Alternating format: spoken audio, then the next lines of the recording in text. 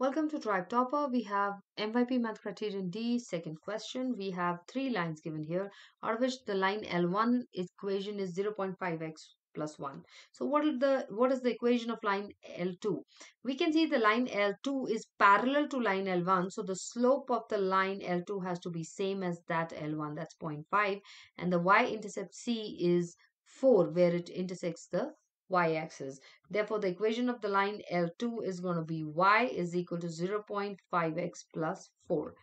And for the other line, this one, you see this line they say is perpendicular to L1. So the slope of L1 is half. So the slope of L3 has to be negative 2. That's the negative reciprocal of this one.